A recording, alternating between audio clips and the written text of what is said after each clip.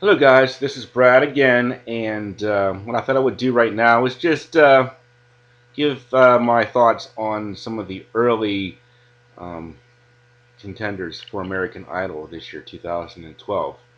If you've been following the show, you know that uh, we're getting ready to start uh, the Down and Dirty uh, Top 13, and um, so this is where, where things really get exciting.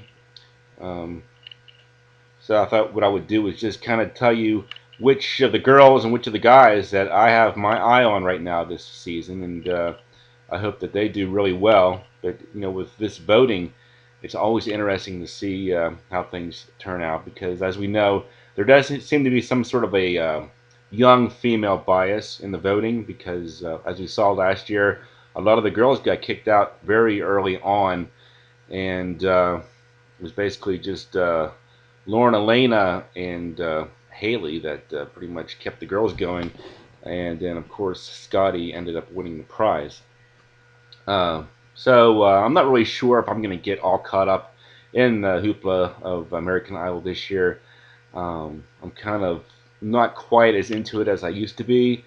Uh, I've been watching it pretty well this year. I did kind of skip through some of the performances, um, but uh, I think I have a pretty good you know, pretty good to feel for who I like right now and who I don't really care for. So I, I would like to start by just giving you some early thoughts on the guys. Um, first of all, there was a guy that didn't make it through, and I was kind of upset that he didn't make it into the top 13. His name is Reed Grimm.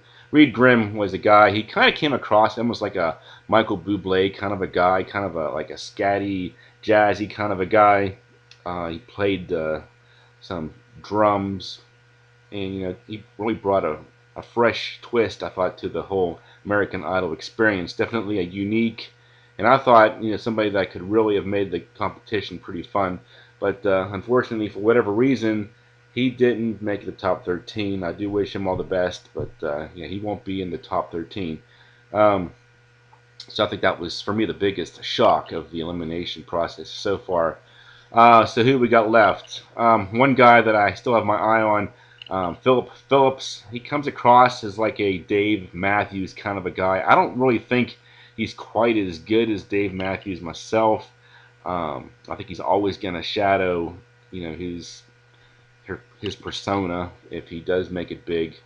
Um, then you got John Mayer and you know stuff like that. So it's going to be hard, I think, for him to really be successful. But you know, at least it is refreshing to see somebody on American Idol, you know, at least you know, doing something a little bit different from what you usually see. So uh, I have my eye on Phillip Phillips.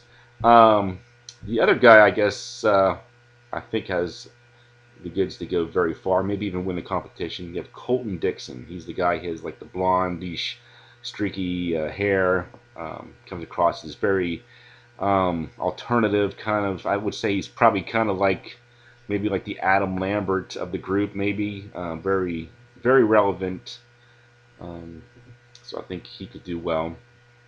And he's probably cute enough to keep the girls interested as well. So those are the guys I think uh, I'm excited for this season. Phil Phillips and Colton Dixon. And, you know, just a very sad situation with Reed Grimm. As far as the girls go, um, the one that I'm really impressed with right now is Skylar Laine. Um, she's the one that did Stay With Me, which is like a classic uh, song by Rod Stewart in the Faces, which is actually one of my favorite songs ever. So it was wonderful to hear a girl's um, spin on that song, even though I do think it was remade by Travis Tritt. But uh, she did a great job and really impressed me. I like her uh, twang and her energy. I think she's actually um, doing a better job than Lauren Alaina, who always came across as a little bit scared and a little bit stiff. Great voice, but just didn't really seem like she had a great stage presence. Um, so I'm hoping that she can really do well, make the top three. Um, of course, uh, Erika Van Pelt is another one. She's a, an older lady. Um, she has a nice, uh, deep uh, quality to her voice. I think she um, deserves to do well. Um, I'm just afraid um, with what happened to Pia last year that you know she could end up you know getting um, booted out soon just because she is older more mature and maybe she won't relate to the younger voters.